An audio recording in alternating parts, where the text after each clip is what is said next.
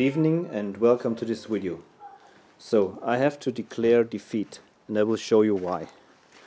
We are now currently approaching the hut of our neighbor. Uh, here it is. And uh, our neighbor asked me for help because he has lost the keys uh, for this lock here. It's actually not, not a problem of getting access to this little house because uh, the door was unlocked all the time. But he wanted to replace the uh, the Euro cylinder, and he wanted to yeah get the door uh, being able to to locked up, and so he wanted to replace the the cylinder. But to get the cylinder out of the door, you need to uh, turn the plug a little bit, because if it's in the uh, locked position, the the cam uh, stands at an angle and prevents the plug from being pulled out. And yeah, so he wasn't able to get out the Euro cylinder and asked me for help. Yeah, and I was really uh, happy that I could try my uh, lockpicking skills in real life. But I also became really frustrated when I uh, had no success after more than one hour. And it was uh, getting cold and dark and yeah, I was really frustrated. So I told him I would I would try next day again. But then I, I realized um, that I have another chance. So you can see the cylinder here is um, very wide standing out of the door and I tried the, the snapping attack. So I, I used my little uh, vise here, um, opened the jaws and clamped it really tight and jiggled it. Um, you can see, jiggled it left and right and up and down. And very quickly, this lock came apart. So, as you probably know, the weak point of the Euro cylinders is exactly there at this point where the, the screw is, um, uh, where the location for the screw is.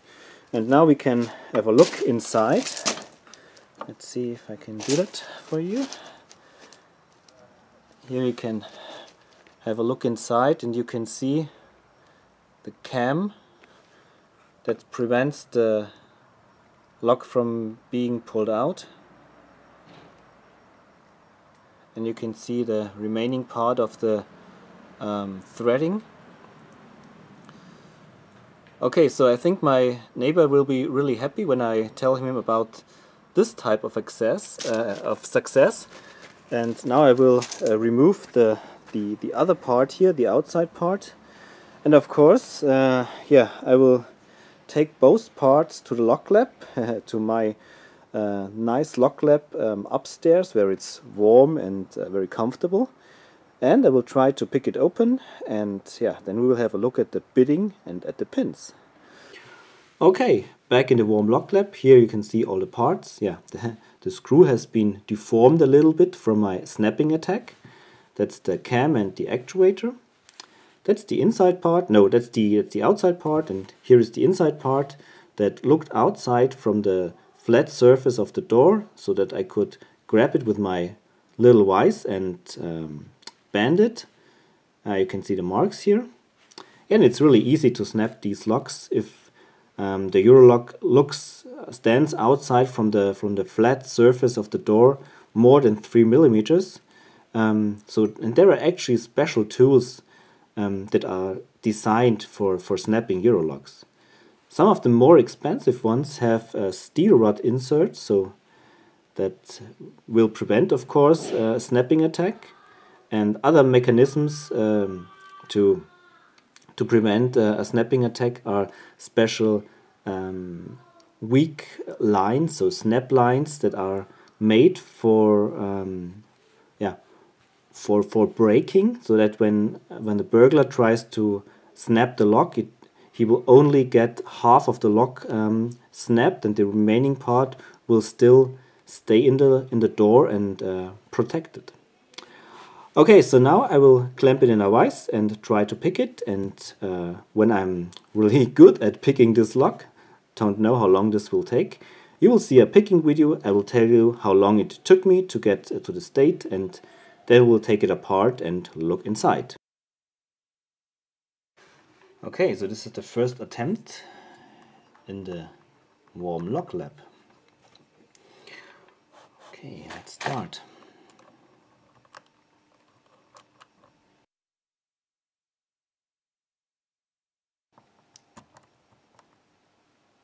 Okay, 5 is binding now.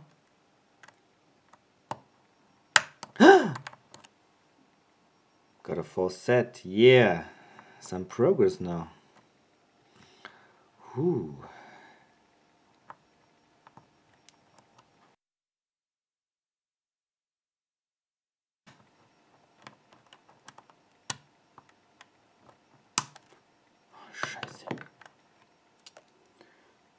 Okay, try again. It was the end of a very nice pick.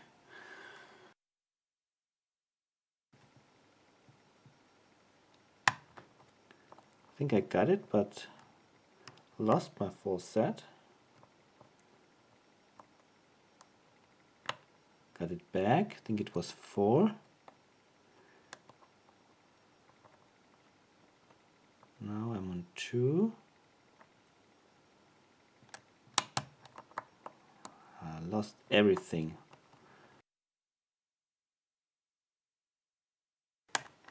Okay, try again. Straight to number three. That's the first binder.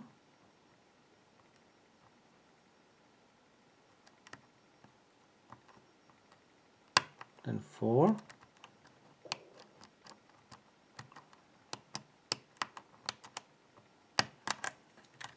Okay, try again.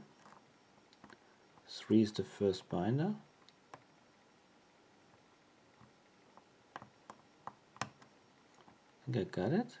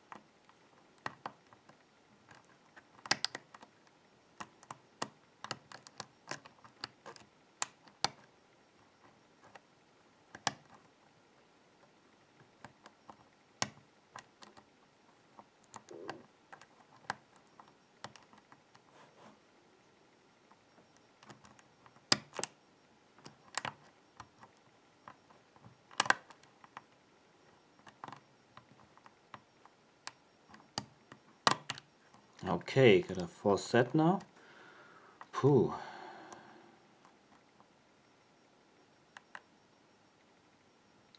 I'm on two, getting counter rotation.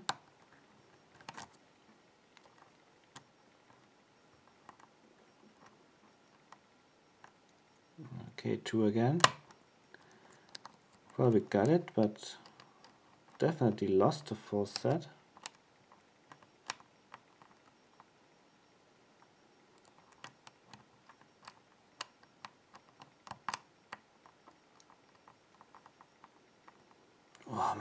Is hurting.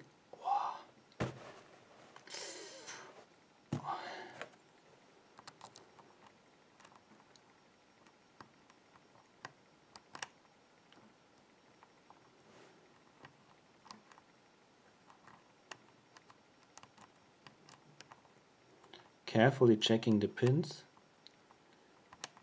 Don't want to mess it up. Maybe three has come back.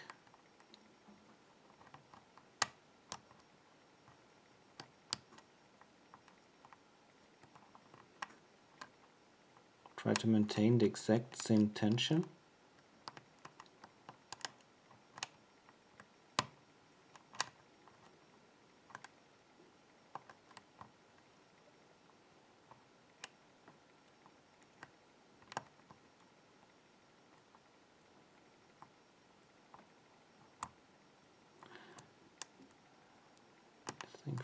Is a little bit higher than before.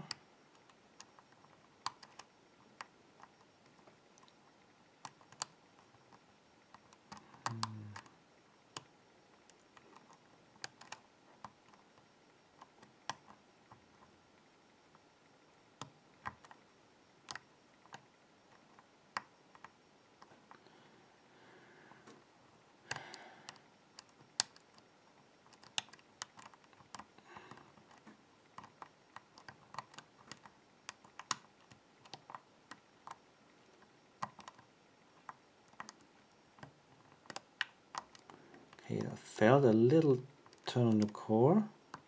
and it's open.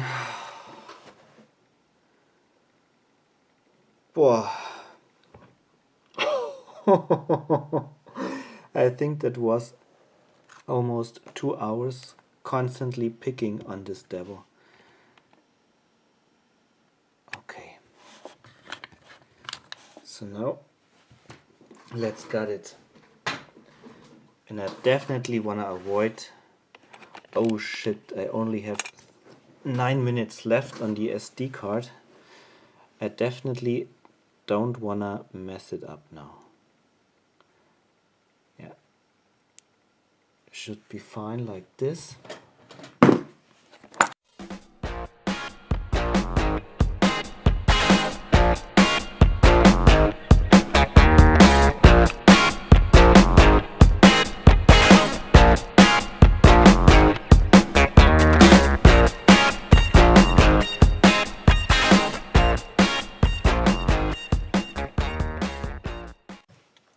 yeah nothing special here.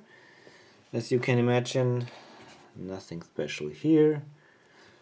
So now let's have a look at the pins. Nice spools in 1 and 2 3 4 and 5 are standard. All key pins are standard. Bidding is actually not too crazy. Ah it's not too bad with a long in 4 and a short in 5 and one is a little bit longer than 3 and 2 it's it's not a bad bidding. But I don't know the precision in this lock and the uh, evil keyway. And I don't know this lock was really yeah has pushed me to the limits. Alright so I hope you have enjoyed this, um, yeah, I don't know what to say, this adventure. And yeah, thanks for watching and happy picking. Bye bye.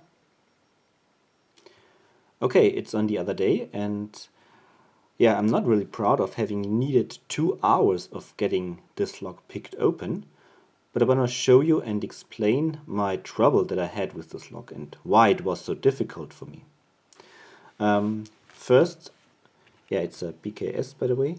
Um, this lock is a has a very paracentric keyway, which means that there is no straight line from from the end of this keyway to the pins. So we have this this warding here, this piece of warding, and when you want to access the pins from the end of this keyway, you need to get get in with an, an angle.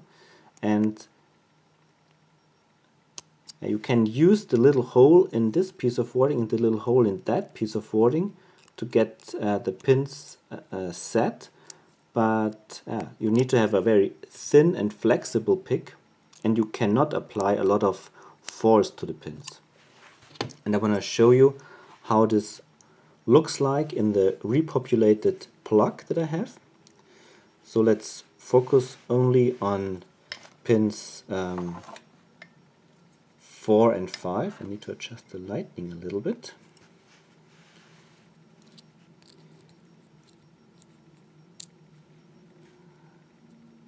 So you can see 4 is no problem and 5 5 is also no problem. Um, but as I said, it's a very thin pick. It's I think it's 0.4 millimeters or 0.38 millimeters and so you cannot apply a lot of force to the pins and as this lock um, appears to be made with a good uh, amount of precision. I needed to apply a lot of uh, tension on the block to get the pins uh, bind and so uh, this pick was just not uh, strong enough. And you have seen me uh, breaking the Sparrows hook which has a, had about the same profile. It's a little bit thinner here on the shaft, the Sparrows. Yeah, um, that's that's one possibility, and it didn't work for me. And the other possibility is to use uh, the hole in in this piece of warding here, and to and to get in uh, to with a, a very strong uh, pick. It's a SouthOrd, uh, maybe it's a uh, 0.6 millimeter pick. Yeah, go in here in and uh, use this, this deep hook to get the pins set. So push it just straight upwards and let's see how, how this works. Again, the first three I, I skip. And here I'm at four.